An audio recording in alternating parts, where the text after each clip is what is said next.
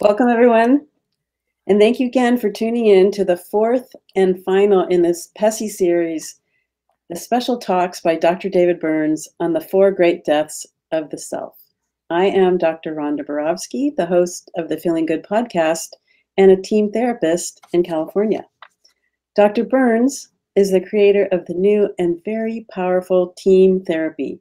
He is the author of the best selling self help books, Feeling Good and Feeling Great. And he's an adjunct emeritus professor of psychiatry at Stanford University School of Medicine. And today we're going to have a very special episode. Okay.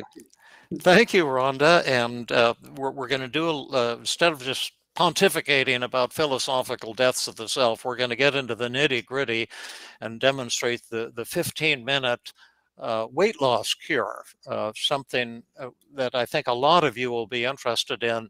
The techniques that we're going to uh, illustrate you can use for any habit or, or addiction.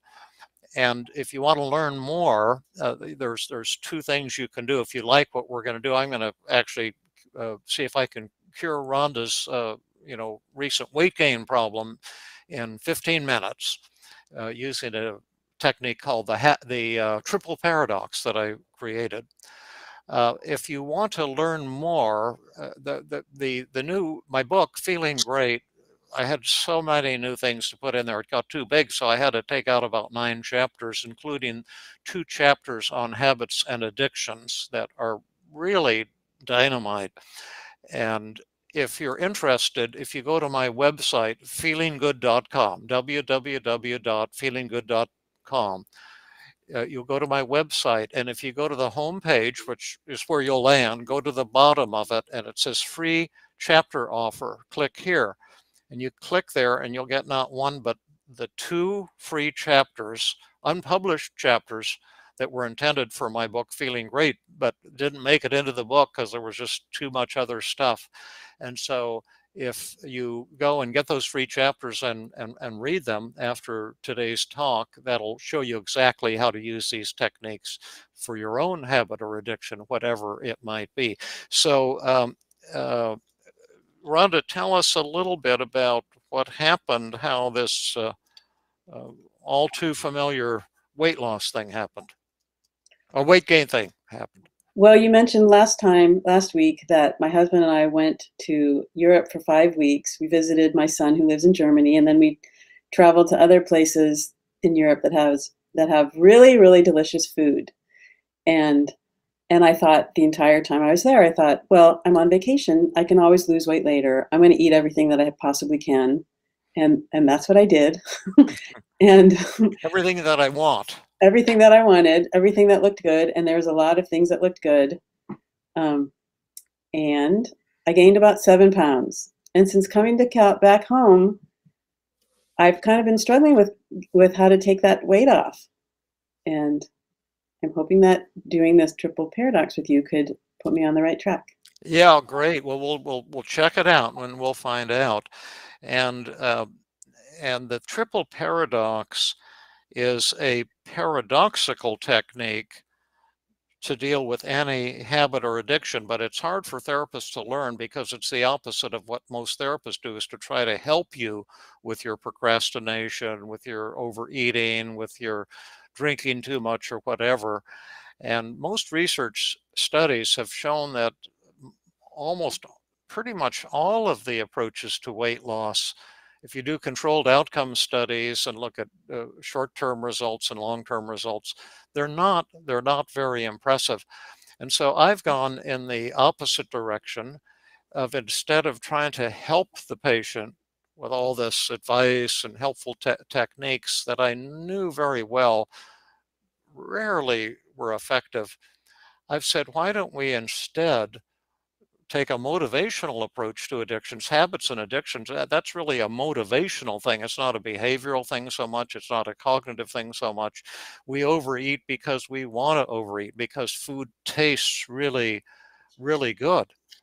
And so um, I, have started working with people with overweight or any problems, doing, doing a triple paradox. And you start out with a piece of paper, you put you can just make one. You see mine here is pretty crude, but we'll show you a fancy one. But you just make three vertical columns, but you put two lines from top to bottom, so you have three three columns, and then you label the left column advantages of my habit or addiction. What what are some really wonderful things, for example, about overeating? Now that's the opposite of, of what most weight loss experts will do. But let's face it, there's some really tremendous payoffs from overeating, from from drinking, from just about any habit or addiction. So we're going to list. I'm going to ask you, Rhonda, to list the uh, benefits of eating as much as you want, whenever you want. And let's let's say what, what's great about that in the left-hand column, and then in the middle column, we're going to put the disadvantages of change, which in this case would mean dieting and exercising more. And, and again, this is paradoxical. Instead of persuading you to mm-hmm. diet and exercise, we're going to try to persuade you not to diet and exercise and give all the, the really good reasons not to do those healthy things. And then in the right hand column is going to be core values. What is your overeating or whatever your habit is show about you and your core values that's uh, positive and, and awesome. And we might be able to come up with 10 or 15 or even more really good reasons to, to keep overeating. And then we'll see what happens as a result of this relatively simple exercise. So can you uh, start us off here, uh, Rhonda? What could we put in the, what are some advantages and benefits of, of, of overeating? Well, food makes me really happy. Okay. Um, so we'll put that down. Food, put that in the left-hand column. And if you want to do this at home and do it on paper, you'll you'll learn the, the, the technique, and then it'll be easy to do it with your own habit or or addiction. Yeah, food ma makes me happy. Now, I think the Dalai Lama, because uh, this is a little bit on the you know the death of the South, the, these talks have been kind of on, you know, practical mysticism, you might say. And the Dalai Lama said that uh, happiness is the purpose of, of life. And there's a lot of wisdom to that. So when you overeat, you're actually being profoundly spiritual. I, like that. okay. What, what what are some other benefits? You know, food is really soothing. When when I'm upset or I've had a hard day and I have some chocolate, it really does calm me down when I'm upset. Yeah, awesome, uh, awesome. That, that that's a second huge be benefit. What what are some other really wonderful things about eating whatever you want whenever you want? Well, it shows how adventurous I am. Oh yeah, tell us about that. Well, you know, I I, I can eat cricket. I've eaten crickets and um, grasshoppers. Not that those are fattening, but you know, when I'm, you know, we went to Paris and we walked past um, bake bake shops practically on every corner, and and I could go in and taste things that were really unusual to an American palate. Yeah, so you can have an adventure, amazing adventures. Yeah, yeah, that's cool. Food. Yeah, you have adventures through food. And how, how, how did they taste, the grasshoppers? They tasted delicious. did they really? Oh my yeah. goodness. I'm going to go out and see if I can find one in the backyard after this uh, video. no, exotic fruits that we don't have here, you know, baked into. Oh, yeah. Pastry. Yeah, amazing things. Uh-huh. Also, Any other, what are yeah, some another other... advantage, it's quick. It's quick. Yeah, uh-huh. I could walk past a bakery and buy um, a baguette loaded with really yummy different things, and then quick and easy. Yeah, so it's quick and easy. Then when I'm hungry, I'm eating, you know, this delicious sourdough baguette. Yeah, awesome. What are some other uh, positives of eating great food? Well, you know, um, I really love to bake myself, and when I bake, I'm making I'm making myself happy. Like I'm distracted from whatever is going on in my life that might be upsetting because I'm focusing on what I'm doing. And then I'm able I'm able to give things to other people in my life and then I make them happy. So it's kind of a double it's a double yeah. pleasure making myself happy and I'm I'm providing kind of a service to others. I'm making them happy too. Yeah, so there's a kind of an interpersonal dimension to to overeating. That that's really neat. So so far we've got a uh, uh, e eating makes me happy. It's soothing. It, it, it's an adventure, like when you're in Paris or something, and you could have all these fantastic things to eat, and there's shops all over the place. It's, life becomes exciting. It's quick and easy. And at home, you love to bake, and then you can give wonderful things that you've prepared to others and make them happy. So there's a kind of an interpersonal connect connectedness associated with it. And any other benefits? Um, well, sometimes it reminds me of happy memories of my childhood. Oh yeah. Or even like thank, you know, for holidays like Thanksgiving or Hanukkah or Christmas. You know, you know, food is food has memories of of happy experiences. Yeah, yeah, memories. You know, family togetherness and and religious occasions. Thanksgiving to me is by far my ha happiest holiday because there's no commercialism and you can be together with family and you can eat wonderful food and and and, and hang out together. Um, so that's a neat one. Any other ben benefits? I think that's it.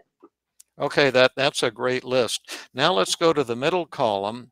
And again this will be counterintuitive to a lot of you but what are some of the the, the disadvantages of diet and exercise because any uh, any weight loss is going to have to have some uh, common uh, it's going to have to have some components of uh, e eating less and self self deprivation and uh, and exercising more. And what are what's the downside of uh, you know change? Well i'll have to i'll have to deny myself things that are pleasurable. Yeah uh, deny uh, ple pleasure. That that that sounds very sucky to me. What what are some other disadvantages? Well, you know, I work really long hours, and sometimes I get tired, and I really need to get sleep and rest. And if I have to get up and exercise, then I'm going to cut back on my on my sleep. Oh yeah, uh-huh. Uh So that that decreases sleep.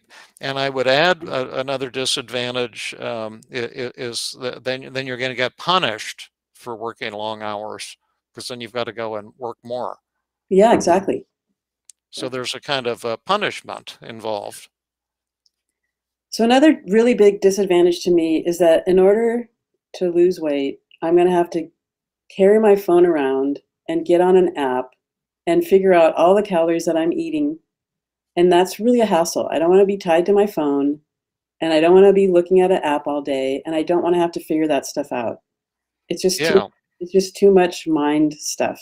That seems yeah it's effort eff, effortful to to to figure out all the calorie stuff and be on an app all day and takes yeah. effort effort to be constantly counting calories and, and figuring out that's a huge one what are some other disadvantages of of diet and exercise well, when you diet, you have to be a little bit hungry sometimes. Like you yeah. Like you can't mm-hmm. eat as much as you want all the time. And and when I get hungry, I get grumpy and sometimes I get a headache and I hate those feelings. Yeah, so you have to put up with hunger. You get a, a, a grumpy. You, you, you get a headache. Those are plenty of disadvantages. What what are some more? Now, are you one of these people who really loves exercise?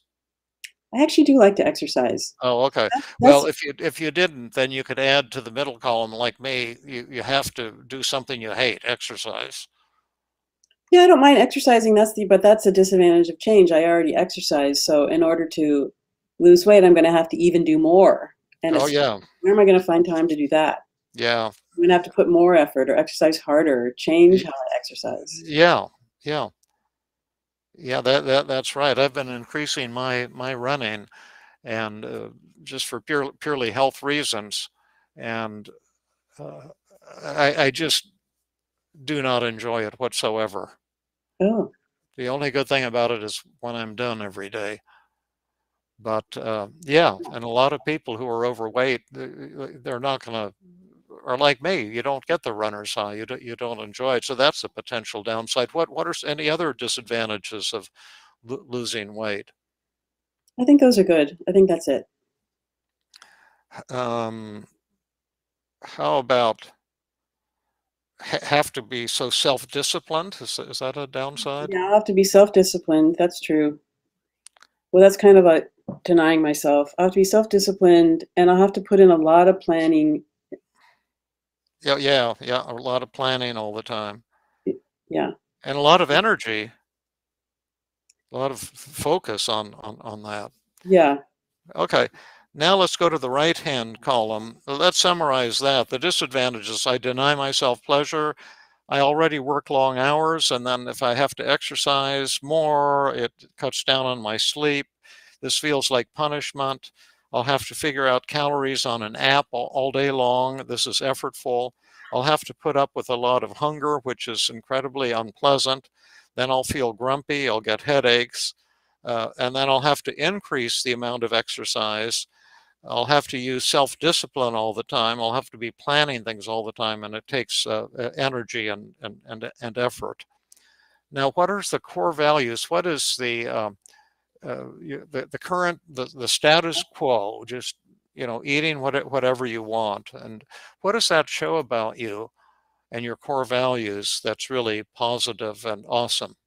Well, one thing that I think that's really important to me is that it shows how flexible I am. Like I, I don't want to have a rigid diet where, you know, I can't eat dairy or I can't eat milk or uh, I mean um, gluten or I can't eat this or I can't eat that. I want to be able to have, you know, really broad ranging, you know, meals that includes any everything.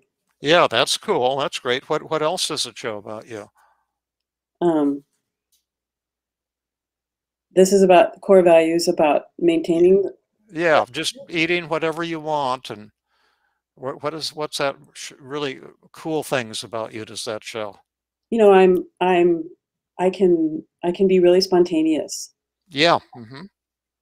that's a cool thing what, what, what else and and i can um i can meet my needs really quickly like if my need for hunger, my need for food because I'm hungry, I can just go have a baguette and um, yes, not uh-huh. and be like immediately satisfy my need. Yeah, and so could we also would it be too much of a stress to say then you're overeating is a form of self-love? Yes. Mm-hmm. Cool. You're being kind to yourself. Um, I mean, I think that's really true. Mm-hmm, yeah, absolutely. Absolutely. What else does it show about you? Um,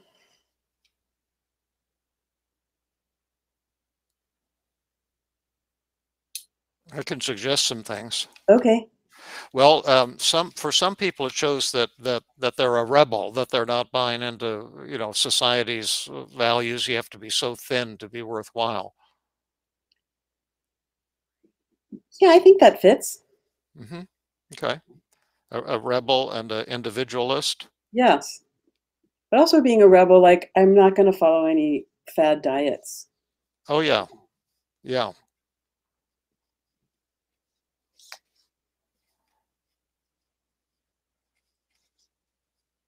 And it also shows how fun I, you know, I can really dive into being fun. Oh, yeah. Right and it shows how much I care about other people. Yeah, yeah, uh-huh. Right. I love that.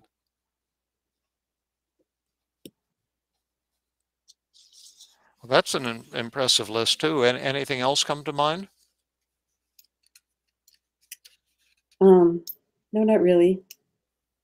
So um, let, let's review this list. The advantages of overeating, it makes you happy, it's soothing, it can be an adventure, like when you're in Paris and you know going eating all this fantastic food and unusual foods, and it's quick and easy, and and uh, and and you love to bake and give and then give to others so it, it, it, it, you make other people happy there's a social uh, dimension to it it, it, gives you memories of your childhood and and and the religious uh, occasions of Thanksgiving and and, and Hanukkah and uh, uh, Christmas and, and New Year's and, and being being with others and enjoying wonderful meals. And I have a memory of my uh, Phil Allen, one of my roommates, and I think freshman or sophomore year, I got to go to his house because I was at Amherst. My family was in Arizona, so I couldn't afford to go home for a holiday. So I got to have Thanksgiving at his house. Oh man, I could picture it right now. It was so fantastic. I remember they had this beautiful bed for me to sleep in. And I slept 13 hours that night. And, and, and the Thanksgiving meal, and all the family was there. It was such a beautiful occasion. And then the disadvantages of diet and exercise, you deny yourself pleasure. You, you, you're already working long hours and, and, and you need time to sleep. And, and if you do exercise, it cuts into your sleep time and it feels like punishment sometimes. And you have, we have to figure out the calories uh, on an, on an app all, all day long. And, and you have to put up with hunger and you're going to feel grumpy and headachy. And, and, and then you'll have to exercise even more which is more time consuming. You have to use self discipline constantly, and you're uh, constantly fighting off feelings of, of, deprivation. You have to be planning all the time and takes a lot of energy. And the, the final thing is uh, what, what does the overeating show about you and your core values? That's positive and awesome and shows you're flexible. You, you don't have to have to have some kind of rigid diet. You can be spontaneous and eat you know, wide variety of things. Uh, you can meet your needs quickly. Uh, it's a form of self-love to, to, to comfort yourself with, with wonderful foods. Shows you're a rebel and an individualist. You don't have to follow fad diets or believe that you're you have to be skinny to be wor- worthwhile. You don't have to live up to culture's these ideals that they put in front of us with all these super skinny models and and and and and the the eating shows that you can be a fun person and that you really care about others and so then my question would be rhonda uh, you know there's a lot of techniques we could use or you could use to to lose weight but uh, uh it I'm beginning to ask myself right now, why would you want to do that in spite of all of these these wonderful things? Well, I'm kind of asking myself that too. But then the main, there are two, because re- these are really like great reasons um, to continue eating. There are two reasons. One is health. I think my cholesterol level has gone way up. Oh, and kind of an unhealthy level. And that, you know, I, we have, I have, you know, that kind of runs in my family. So um, that's really a concern. And the other day I went to a, a small gathering of my friends and we all took a picture and I really didn't like the way I looked. And um, I know I'm kind of, I, you know, maybe that's a little vain, but that kind of showed me that I'm not in the best shape that I actually could be. And um, I did feel bad. It, it did make me feel bad about myself. And my son is getting married in April. We're having a big ceremony, and I want to make sure that I, I look my best and I feel my best and maybe one day I'll have grandchildren and I want to live a long time so that I can, you know, have a relationship with my grandchildren. Awesome. So you you really do then want to lose some weight. I think so. Okay. Now I think we might have time for one other technique, although there's many that, that we can use, and we can do the devil's advocate technique, which is a way to uh, uh, fight temptations. And again, it's a paradoxical technique because the therapist is in the role not of trying to help, but of being that tempting voice in your mind that gets you to overeat. And we'll just do a real quick demonstration of this and then we'll bring it to closure. But what are some of the tempting thoughts that you have when, when you're tempted to, you know, buy fat fattening foods at the grocery store or you're tempted to eat something, you see something in, in front of you? What what kind of thoughts do you have? Well, one of my first thoughts is, well, I already exercised this morning, so I could eat whatever I want. Okay, yeah, that's a good one. So let's write this down. And those of you who are listening, you might want to write these down too, or your own tempting thoughts. Uh, I, I, exercised, so so I so I can so I can eat. That, that yeah, that that's a real good one. What what else? Um, you know, I deserve this. Yeah, that write that down. Yep. I, I, I deserve this. And what, what is this? What, what is the most tempting food for you? Right now, cheese and crackers. Cheese. Okay. Okay. um, how, how, about some thoughts about uh, thought about cheese and crackers? Yeah, I love the I love the taste. the, you know, I love the crunch. The crunch is really satisfying. You know, it makes me feel really good. Mm-hmm. Sure. Okay, that that's a good one. What what's another thought? Oh, I know if I have this chocolate, I'll feel better. If I if I if I have the chocolate? Yeah, if I eat this chocolate, I'll feel better. Oh, and what kind of chocolate is your favorite? Oh, chocolate chip cookies. Oh, okay. Chocolate chip cookie. I'll I'll feel better. Yeah. And one more, and then we'll show how it works. Um,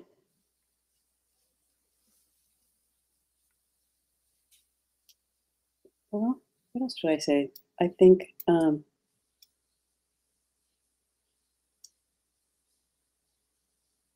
I, I'm hungry, and this is easy. Just grab what's grab whatever you can see. Okay, perfect.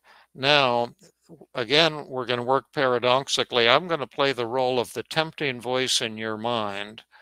And, and even though I'm the therapist, I'm going to try hard to trick you or tempt you in, into overeating and see if you can defeat me. Okay. Um, so could I talk to you for just a second, Rhonda? Sure. You know who I am. You're Rhonda's tempting thoughts. Yep, I'm the devil. And I want to remind you that you exercised this morning, so you you can eat now. You have the right to eat now. It's okay. Go for it. Well, I did exercise this morning, but I probably only exercised a couple hundred calories, and that doesn't I that doesn't mean I I can eat now a thousand calories. I still have to balance out that what goes in and what goes out. Okay, so who won? Actually, I think I won. Okay, big or small? Big. Big. Okay, great. But um, you deserve this. You you deserve some some cheese and crackers. Mm. well, I mean, I mean, I don't think food has to be used as a reward. I could find another way of rewarding myself. I deserve um, that cheese and crackers, but I also deserve um, some a sense of peace and contentment. And I could just change the way I'm thinking about the food and about my situation, and then I I can I can I can create other kinds of of uh, rewards besides food. Yeah, but you love the crunch and the cheese. Mm. I do. It's so yummy. Yeah, well, so just grab one, just there right in front of you. Just reach your hand out and touch that cracker with the cheese on it. just bring it up to your mouth, and your I can smell will quiver. Right yeah, and your nose will smell those beautiful smells. well, I think I could like reward myself on Saturday. Like I don't have to eat like I don't have to eat like everything I want constantly, but I don't have to deprive myself. Like on Saturday, I could give myself, um, you know, the I could I could I can say, okay, well, I'm gonna, I'm not gonna eat it now, but uh, on Saturday, I'll, I'll, give myself a little bit of a reward. Okay, but but right now, if you eat this chocolate chip cookie, you'll feel really good. You'll feel a lot better. Mmm, chocolate mm. chip cookie. Look at it; it's so fresh and crunchy and delicious looking. well, it will make me feel better while I'm eating it, and while it's in my mouth and I'm crunching on it, it will make me feel better. But after I've swallowed it and it's over, I'll kind of even forget that it felt good while I was eating it, and um, and then I'll feel worse. Like sometimes I might feel upset in my stomach, or I might also feel like guilty and bad and judgmental about myself. So, you know, it's really the the the brief moment that I'm eating the chocolate chip cookie isn't worth all the punishment for afterward. Awesome. Well, there's just one more thing that I wanted to mention to you, Rhonda. You're hungry. So go for it. Well, I am hungry, and it is easy to grab something that has a lot of calories in it, like a you know toast. But it's also easy to grab something that's doesn't have a lot of calories, like an apple. And I I do have a lot of food in the house that's lower calories that can satisfy me without being high caloric. Right. So who won? I think I won. Big or small? I think I won really big. Big or huge? Huge. I think I won Huge. huge.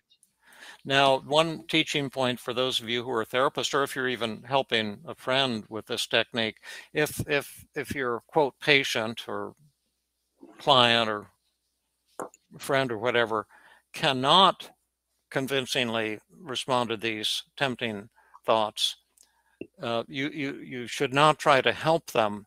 But what I say is, well, maybe maybe you're not ready yet, or maybe this isn't something you want to do just at this time, and and God bless you. I, I can totally, totally accept that. Um, so maybe we, we, we should be working on something else instead.